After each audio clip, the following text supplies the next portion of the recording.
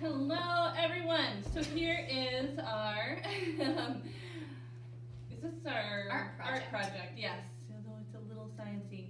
Um, so what you will need and what you will find in your folder is this full of wildflower seeds. You will find some construction paper scraps, and you will need water, some type of container like a muffin tin, Or an ice cube tray. something like and that. this really cool blender, I'm gonna ask if I can buy this from the school because I think it's awesome. And it's yellow, and that's fun. Um, so in the blender, you start with paper scraps. Can I rip these? Yeah. Do it. And this is a, the paper ripping kit. The kids love it as well. They- do it as a work.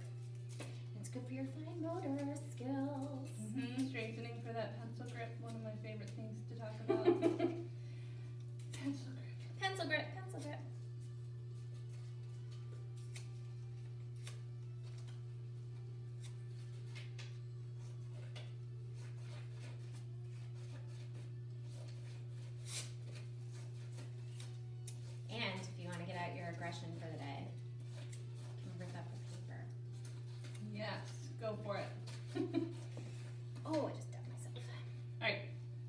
Much as you think you're gonna need, and then you add some water to this. Oh, the other thing you'll find is cheesecloth, which we forgot Which to we bring forgot to over. bring over.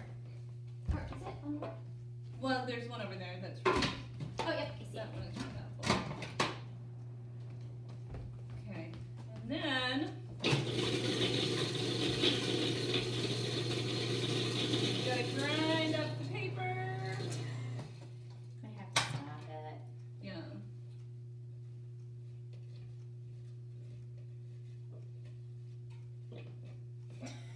Ugh. You're gonna have so much fun with this. You're gonna love it. I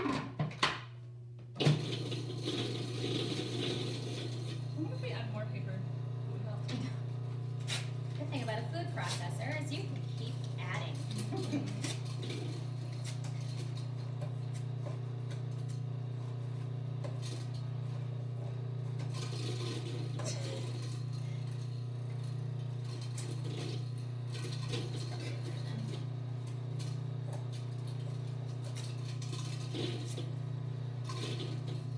I changed my mind. I don't want a food processor anymore. You gotta get it really in there. And it doesn't have to be super, super um, ground up. Okay, ground up.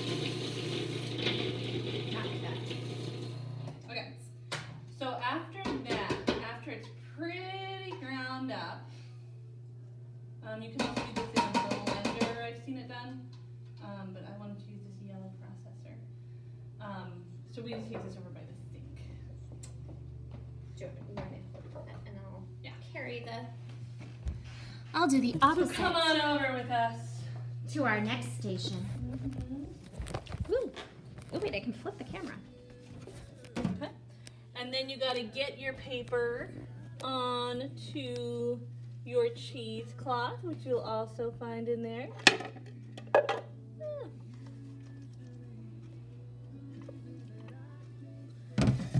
Hope you're enjoying the Tim McGraw in the background. Right, and then you gotta squeeze that out. Getting rid of the water. And then come back.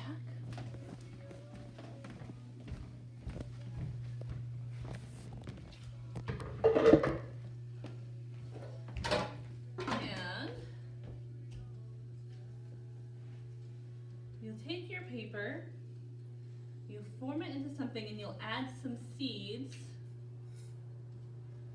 Put the seeds in there. And you'll firm it up. Put it in your pod holder to dry. And when they have gotten pretty dry, then you can go and you can put them in different places in a field or in your yard and then wait for the wildflowers to grow and it's beautiful. Hope you have fun.